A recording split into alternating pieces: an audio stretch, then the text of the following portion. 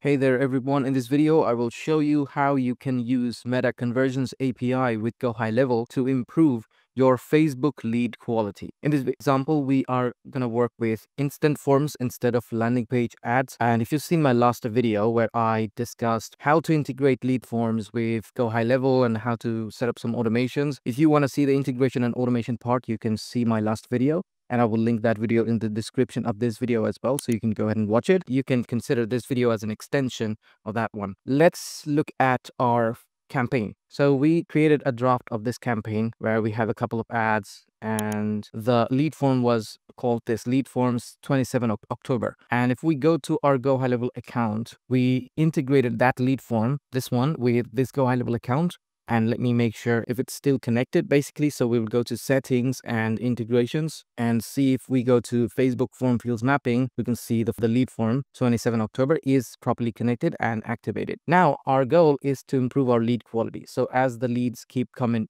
in through this form submit when we make this campaign live our goal is to over time improve the lead quality but how do we do that we do that by, if we go to opportunities in this account, so if you've seen my last video again, we created an automation to add the leads to this pipeline stage, new leads. So whenever there's a lead form submission, they will automatically appear here. So we already did that automation. If we move them or if somehow they automatically get moved to either booked appointment or sold, we want to send a conversion API event to Meta, and that we will do using Go High Level, and that's basically what we'll see. But our goal is to send good lead data to Meta using CAPI or Conversions API. So either when they book a call or when they attend the call or when you sell something to them, move them to sold. And this is just my pipeline. Your pipeline can be entirely different. But the goal here is when they take an action, when you know that this is a good quality lead, either they buy something or they attend the appointment, you want to send information using CAPI to Meta. And that's what exactly we're going to do. First of all, what we need to do is we need to go back to our ads account and then we need to go to business settings from here. So once we click on business settings, it will ask us to send a code. If you have two-factor authentication on, I have it on and it's good to have it on. So this is my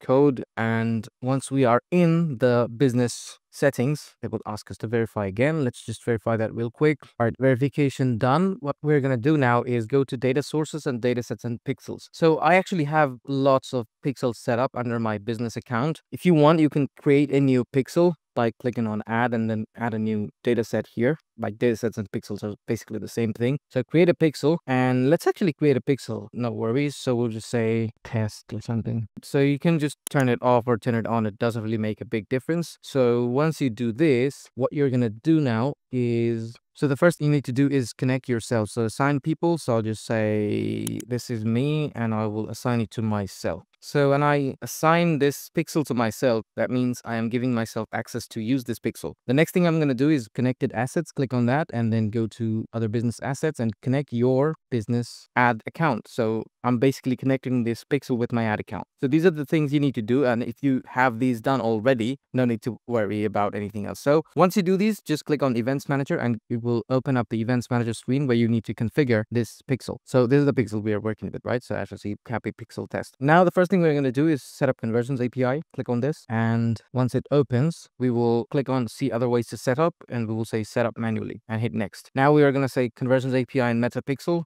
Hit next and then click on start CAPI setup and you can finish and close this screen.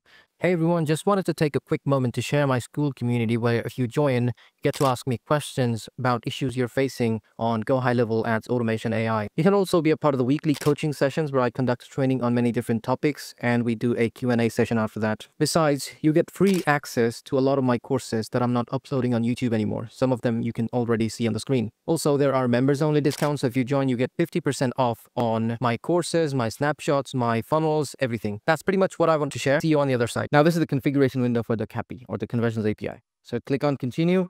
Now you need to select your business category. So if it's travel, automotive, uh, professional service, anything like that, you can just select that, but I'll just select other business category. And these are the events we possibly may track in our campaigns, if not now in the future. So we will say we may track leads, we may track contacts, we also may track schedules and also maybe purchase. So these are the stuff we are tracking. And here you need to configure the parameters you need to track for each event. So for contact, I will say definitely event ID and literally select all these from here. So that's for contacts. And for lead events, we will do the same thing. Event ID for purchase, doing the same thing. Now we will go to schedule and do the same thing. So it depends on you what events you want to track. But for this screen, you need to select all of them because you're sending all these signals for the leads quality improvement. So when you're sending good lead information to Meta, you're saying that, okay, I want to find similar leads that matches all these information to the lead that just sent. So that's basically it. Continue, continue, done. Now in this screen, we need to generate an access token. Here, you can set up dataset quality API. I don't usually do this because uh, that's not really necessary at this point. I'll just do setup without dataset quality API and generate access token. So once this access token is generated, we will just stay here. And now it's time for us to go create a few automations. So now let's go to our Go High Level account and go to automation and we will let's just create a folder called CAPI. Go to the folder and create an automation. Our goal is to actually, let's just create the workflow later. Again, let's discuss the goals when we automatically or manually move our leads to either booked appointment or attended appointment or sold, we want to send these leads back to Meta through CAPI and say, these are the good leads and find me good leads like these. That's how we improve the lead quality over time. So let's just go to automation. Let's say CAPI and create a workflow. Now we will create called attended appointment sent to CAPI. So if we do this, attended appointment sent to CAPI, the goal of this workflow is when you move them. So we're saying pipeline stage changed. When we change their pipeline stage to, let's say, in pipeline leads, and we say we move them to the stage attended follow-up. So they attended. What we do is we add an event or an action called Meta Conversion API. So click on this. And now you need to do this. You need to change this to a lead event because funnel event is just for conversion tracking purposes for uh, your funnels. If you're doing landing page campaign, so that's not needed. Just do lead event. And where it says access token, just go ahead and copy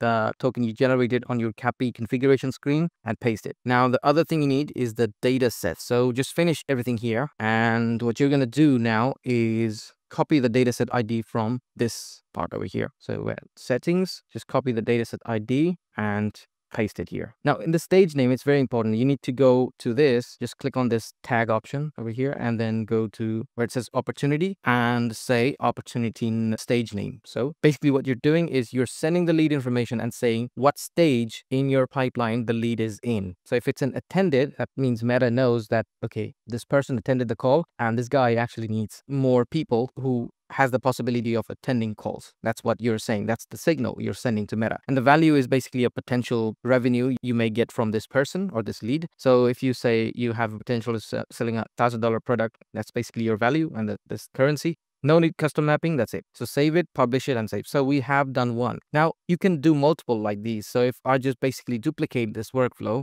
and I said, now, okay, I have created a workflow for attended when we move them to attended. Now, what if we move them to sold? We need to send another CAPI event. So that's basically what we're going to do now. Let's just duplicate this workflow and say sold or closed. So we are moving them to sold or closed now and sending a data through CAPI. So here in the pipeline stage changed, the stage will be sold instead of attended appointment or attended follow-up. And the conversions API action doesn't need to be changed because it's dynamically getting the stage name now, uh, which will be sold in this workflow. And the other one, it was attended follow-up and nothing else needs to change it here. Just save it, publish it, and save it again. So that's how we configure Meta Conversions API with Go High Level for lead forms. This is a lead event. That's why we are using lead event because of lead forms. Now, if you want to see it in the advanced builder, you can do it as well. Like this is your workflow in the advanced builder. You can do the same thing for the other one as well, like if you want to. Now, what we need to do now is a very important thing in the Facebook ads. So if we go to our ad account, Let's go back and let's go to our ad account. All right, we are in our ad campaign. So this is the lead form campaign, right? So if we go to the ad, you can see we created an ad and we created the lead form here. It's connected. Now It just need to be published.